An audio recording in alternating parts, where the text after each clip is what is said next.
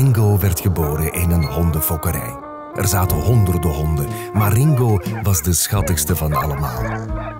Een familie valt voor zijn charme en aarzelt geen seconde om hem te kopen. Maar in een appartement wonen is niet altijd even makkelijk.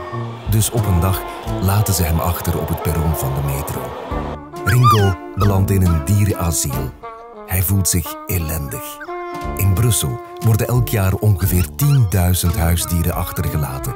Amper de helft daarvan vindt een familie. Voordat je koopt, denk aan adoptie. Denk aan Ringo, Krabbel of Kroket.